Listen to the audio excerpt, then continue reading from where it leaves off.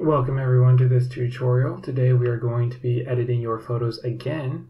And like I say, I love when you guys send in photos because you guys take amazing photos. So if you want to send in photos, send into this email address right down here. And don't worry, I'm going to get to everybody's photos since only a few of you are sending in at a time.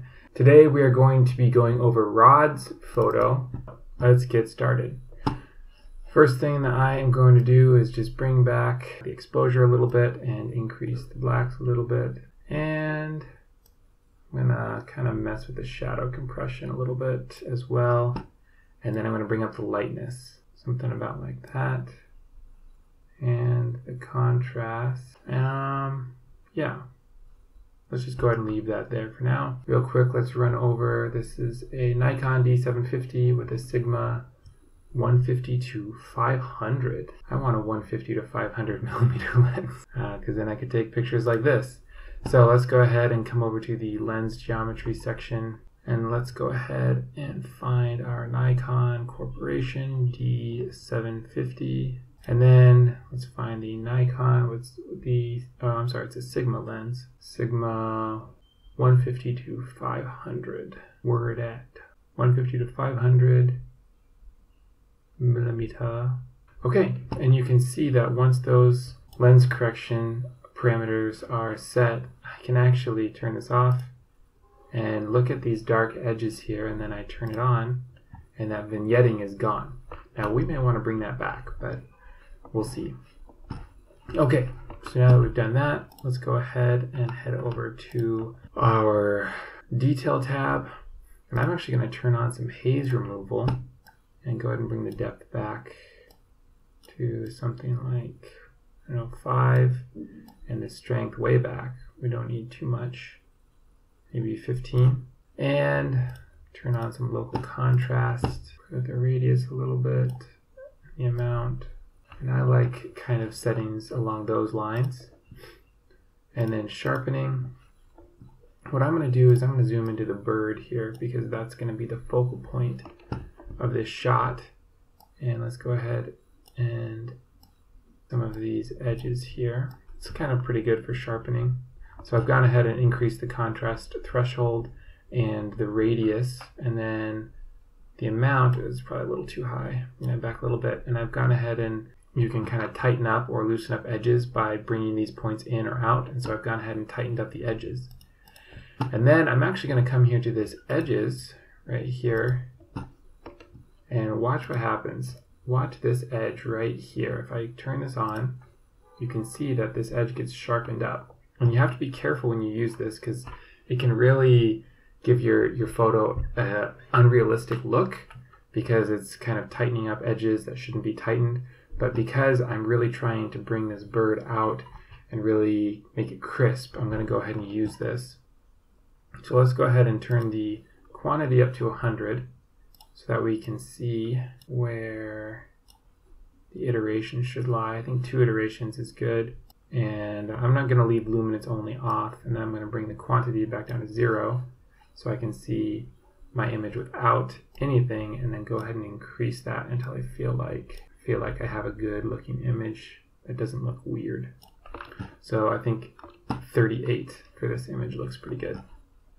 All right, now let's go ahead and zoom back out to one to one, uh, back out to the end of the image. And then let's go ahead and use the color toning for this one. So I'm going to go ahead and increase the green. Well, first, before I do that, I'm actually going to reset here. Uh, first, I'm going to come down and I'm going to click the color equalizer and set that to linear.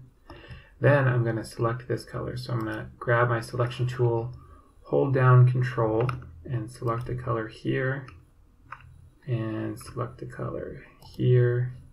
And select the color here. Um, and basically what I'm trying to do is I'm trying to get a sense of this log kind of the color gamut that's there. And you can see all of these points right here. So now if I turn on show mask I can drag this point down and I can drag this point down Okay, and then I'm going to copy this curve and come into this curve, which is the L curve, and paste it. And you can see that things are getting a little bit better. I'm going to bring these values back up. So I'm kind of playing with this to get my mask to work correctly. Okay, so this is the mask that I've come up with. I'm going to increase the blur just just a hair, something like two pixels. Then I can turn that off. And now, if I go ahead and increase the green, you can see that this background is not nearly as affected. So I'm going to go ahead kind of increase the green here. I don't want it to be too overpowering, but I really like the green moss. And let's kind of warm it up just a hair. Mm, kind of like it a little bit darker. Okay, so now that that's done, let's go ahead and open up our RGB curves. And I'm going to start off with the blue curve because I want this to be a little bit warmer. So go ahead and pull down on the blue curve to add in a little bit of yellow. And then here in the green curve, let me reset that. I'm going to go ahead and pull up. Oh wait, I'm sorry, pull down because I want, what I want is I want there to be a little bit of contrast uh, color-wise. So green, the opposite of green is red or red-esque colors. So if I go ahead and put this purple here, you can see that there's quite a quite a bit of contrast there, but of course that's way too much. So I just want there to be a little hint. Let's turn on some soft light, bring that back to about 9, 10.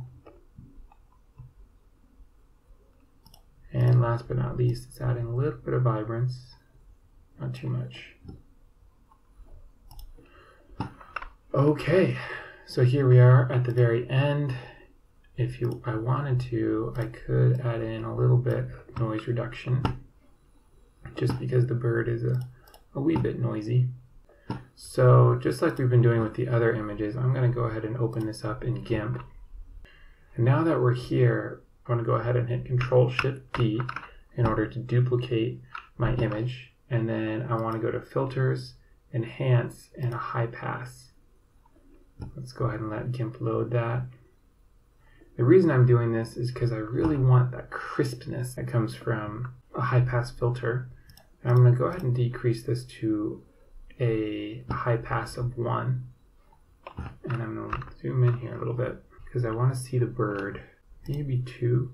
I'm going to go with 2.